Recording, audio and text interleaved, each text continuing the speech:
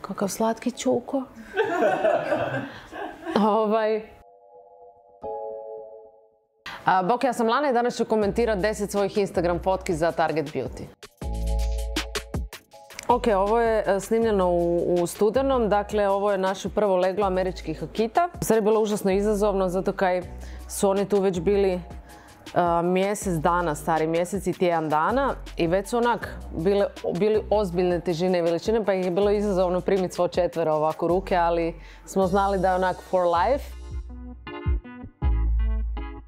Da, pika me ovo tvoje pitanje posao, ja ne bi to nazvao posao zato što to nekim ljudima zaista po svijetu koji se time bave je posao, ali je posao u trenutku kad imate tipa 100 pasa. Nama je to još uvijek uh, ljubav i mi smo u ovome stvarno na početku. Zaljubljeni smo u rase koje imamo doma, dakle američka kite, šibe i potpuno ono nenadano i neplanirano ove minijaturne jazavčare. Ka znam, nekak imamo svoju misiju da stvaramo najbolje primjerke te rase. Uživamo u psima, posvećujemo stvarno puno vremena i, evo, bavimo se uzgojem. Ovo je Oriana Fantastic, dakle predposljednja kita koja je došla u našu obitelj. Nabavili smo je u Rusiji, u Irkutsku. Dakle, fakat jako, jako daleko. Putovala je pet dana do, do nas. Da, da budemo jasni, kupovina šteneta je mačak u vreći. Vi stvarno, niko vam ne može garantirati u šta će se taj pas razviti i kako će on izgledati kad odraste. Oriana je baš fantastična, tako je imen, mi ga nismo mijenjali, ostavili smo tako. Ovaj, ima super pedigre i, i nadamo se da, da ćemo s njom stvarno stvoriti nešto za uh, svoju uzgajivačicu. Znaš kako je to krenulo? Moj muž je ovaj, poželio psa kad smo se uselili u kuću, a ja sam rekla, odrasla sam cijeli život sa psima i rekla sam da neću imati psa, je pas velika obaveza. Mi imamo troje djece, ja želim se posvetiti njima, želim putovati i tako dalje, a kad imate psa to je teško. I ja sam tu popustila pritisku i on je rekao meni, ma joj, jedna japanska pasmina, ja sam mislila da misli na japansku akitu veliku, ja volim velike pse. A kako on rekao šiba, ono, pogledali smo štene, ja sam rekla ok, i sad kad je pas narasao, sam mi rekla kao čekaj, kaj je to sad to? Veli da, da, jer ako neće više raz, pa neće. Ok, to nije pas, treba nam pas onda, ako već imamo psa sad kad je otišlo sve u ragu, ajde. I bili smo sa Kimče na jednoj izložbi u Samoboru ovaj, i ja sam se okrenula i vidjela sam dvije prekrasne američke akite od naših prijatelja danas ovaj, i, i rekla sam, gle, Evo vidiš, to je pas, ja si to želim, ovakvog ogromnog, velikog medvjeda dlakavog i mislim da nije prošlo tri dana da je već prvi bio doma. Ovo je onak jedna rijetka situacija gdje se ja full sredim. Ovo je na snimanju TLZP-a gdje je Iva rekla ajde da ti stavimo neki dugi rep onak baš da bude rep. Ja sam rekla pa ajmo. Pored je slikano, ovo je dakle e, hair room u TLZP-u. Imaju super produkciju i svaka soba onak ima tipa za šminku, za kosu, za, za perike. Baš su dobro organizirani i to kad uđeš unutra onako wow Pa sigurno nešto što ostaje kao onak uspomena za cijeli život, jer kad u životu možeš biti Tina Turner i nemam pojma Halid Bešić, nisam bila Halid, ali nema veze. I onda da ti to ostane snimka za cijeli život i onda da to pokazuješ jednog dana unucima. Dakle, ponovila bi opet, to je show business. Rekla bi da je puno drugačiji od Masterchefa gdje ti u stvari kuhaš i ovisiš o svom radu. Show business je jedna potpuno druga kategorija gdje ne ovisi sve o tebi i o tvojoj izvedbi i kako se nešto dogodilo, ali bilo je super. Tina Turner. zato što mi je vokalno legla savršeno, zato što je to u ono, poziciji govora. Tina je onako oštra, duboka, voluminozna, malo podrapana, to mi je super. Ali maska i kostim su mi bili top života a moj Keritas. dakle, mm, ja se nekako trudim u posljednje vrijeme pričati o atopijskom dermatitisu jer smo nekako u, u, nekakvom razgovoru sa Andrejom Čubrić koja je pisala moju pjesmu Lampioni dakle došli do zaključka da mi svi u stvari robujemo nekakvim zadanim tipovima ljepote koje nam zadaje Instagram, društvene mreže i sve tako dalje. Došli smo do toga da lijepa žena kad se objavljuje na Instagramu svejedno se provuče kroz neki filter, a potpuno nepotrebno. Ja prva to radim. Ne uvijek, ali radim. A zašto? Nemam pojma zašto. Zato što to neko drugi očekuje, zato što je kao ljepši si. Kome? Snimili smo tu uh, pjesmu Lampioni i u stvari smo posvetili svim ljudima koji imaju nekakav nedostatak na sebi. Znaš šta, mislim sad recimo imam dijete koje je šesti razred, prvi razred i najmanje još u vrtiću.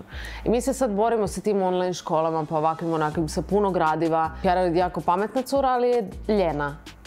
I neće učiti, ono uđe u sobu da gleda u strop. I puno se svađamo, jer kao zašto? Mi želimo da ona dobi pet, ali ne zato što smo mi roditelji koji želimo da nam dijete bude 5-0. U stvari mi to forsiramo da da bi ona što bolje se lakše jednog dana negdje upisala.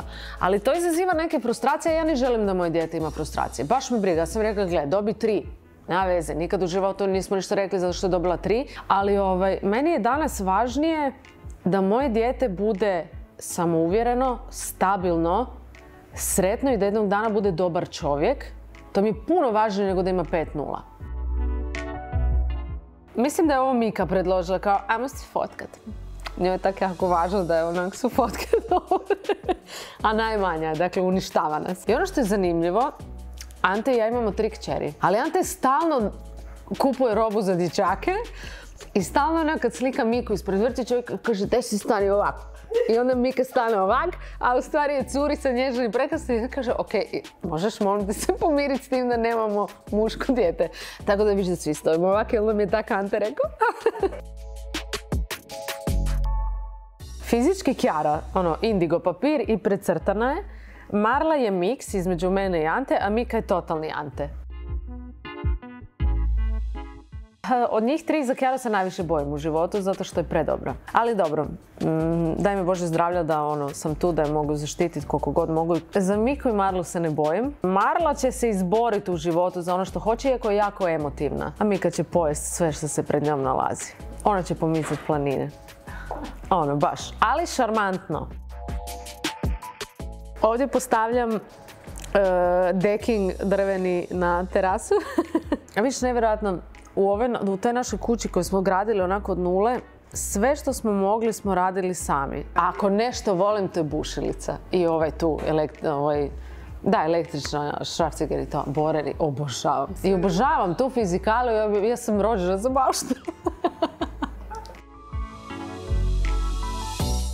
Ja sam si organizirala život, dakle nakon tog agency life-a kojeg više nisam htjela, da u stvari kuham, da je to moj core job. Po tome sam si uredila dakle to gore potkrovlje. Dakle ja snimam uh, video recepte ne samo za sebe, snimam i za sebe, dakle za slavnu kuharicu, ali snimam i za druge klijente. Ali ja sebi odredim da imam pa negdje četiri snimajuća dana u mjesecu. I ta četiri snimajuća dana se ja i moja Suzi zatvorimo gore, i mi ti ono, kuhamo od 10 ujutro do 5-6 popodne, ali znaš kako, pazi, snimamo tipa 5-6 jela u danu, ali to ti onako izgleda kao ujutro kavica i već u 10. Ovaj, I onda oko pola 11 već otvaramo prvu butelju vina. kao ono, jer doručkovali smo, znaš, što ćemo malo nazdraviti. I uglavnom mi ti popijemo dosta i bude nam super. I tako si mi naredamo jedno četiri dana i ja sam ostali 26 dana oslobođena od tog snimanja i od kuhanja. Sad sam si dala u zadatak proizvodit ću ogrlice za jazovčare. Već ono brand ima ime i sve, već smo ono u, pogonu i radimo. Zato što recimo tabu kad je bio mali, jazovčar ima ovakav vrat. Ja nisam njemu mogla naći ogrlicu da ga šećem vani, nego za mačku. Ali ovaj, sve drugo što radim, radim u tih ostalih 26 dana. Dakle, ovo je prezentacijski ručak kao jedan branč za jednog od partnera ono, pod njihovom organizacijom. Ja sam složila meni, njih je bilo jedno petnaestak, koliko stane za taj moj stol. Nešto su prezentirali, mene su pustili na miru, ja sam kuhala što sam htjela i svako to jelo sam lijepo servirala, prezentirala, uopće me nisu gnjavili. ja sam s devet godina skuhala svoje prvo jelo pohano meso i pire. Mama je radila, kao bili smo neke kao gladni, tata je rekao, ma ne budem ja skuha ručak, ja sam rekao, tata nema, budem ja. Zašto? Zato što mi je dan prije servirao čokolino s vodom. I sad ja to jedem i onak, to su bile suze krokodilske, tata nije fino, jedi. Ali stvarno, jedi. I onda nakon ono jedno deset minuta meni suze već idu, ono već sam pokapala. Taj, taj čokolino rekao, dobro, daj da probam. I onda je probao i rekao, fuj, kako to možeš jesti? Pa jesam ti rekla da se radi smijekom. Uglavnom, ja sam shvatila da je vrag odnio šalu i da bum si ja sama skuhala. ja sam živjela samo 18. 19. ne, lažem, 20. I kaj, moraš se skuhat nekaj. Mislim, ja jesam već 20 počela pjevati u ITU i počela zarađivati svoje novce, ali nije baš ono da sam svaki dan jela po restoranima. Nisam. I kad su me pozvali na Masterchef je bilo ono kao, kaj bum ja tamo kao zakaj? I onda Ante rekao, ma idi, ti ćeš pobjediti. I kad sam se sjela na taj uh, sastanak, sam rekla, znate kaj ljudi, ali meni, mislim, okej, ali Kajak je, onak, ne bi volila ispast prva, znaš, ono, kao u šestoj emisiji, ono kad prvi ispada, ma daj kaj bi ispala u prvoj, da rekao, a gle, veli, svašta se može dogoditi. I u prvoj emisiji sam se probala nožem, ovak, tu sam si zabila nož, a tu kod nokta izašao van. Dakle, krvi kao ono u klaonici, i ona kao dignem ruku kao, i sad vidim producencu ono kao, ok, i onak izmaknem se iz kadra, ja kažem, čekajte ljudi, moram na šivanje, jel možemo zaustaviti snimanje? Oni ono, ne. I ono, kaj? Ne, a vidiš čovjeka koji onak stavlja mi neki flaster, sve lipti, ona krv, nego mi je rekao, te se makni, daj mi neku krpu, ovak sam se zavezala, stegla sam si taj prst, navukla sam tu rukavicu, dakle u ono, bio spreman za amputaciju koliko sam ga stisla. I vratila sam se nazad za taj pult, a ko za inat je bilo kao prvo neko jelo s potpisom, onda sam radila japanske gioze, koje moraš ovako frkat s prstima, kao. I niš, na kraju sam frkala ovak s devet prstiju. Super sam prošla u toj emisiji, na kraju sam rasturila i cijelu sezonu, pobjedala, ali ovaj, uglavnom kad je završilo sam rekao, ok, hvala vam puno, jako ste bili susretljivi, ja sad idem na šivanje, tako da sam se sašila taj prst, mislim, užas. Ali uglavnom, eh, tek tada sam, recimo, mm, osjetila nekakvu želju da se više time bavim. Skužila sam da mi je prekrasno sama sa sobom u svojoj glavi, ono kad kuham, a niko me niš ne pita, niko se ne dere. Onak, baš mi je to bilo fora. Mi ne putujemo, očito, jer imamo 11 pasa. I znaš, kad nekog nazoveš, joj, jel bi mi pričuvao psa ili dva psa, a znaš, ne poznam ni jednu budalu koju ću nazvati i reći kao, jel bi mi htio pričuvati mojih 11 pasa, osim mog brata. Ali ovdje nismo imali toliko pasa, to je bilo samo prije dvije godine. Ne putujemo puno i moj muž je prije radio kao novinar i proputovao cijeli svijet. I moj muž bi svugdje, a ja bi uvijek i za uvijek u Parizu.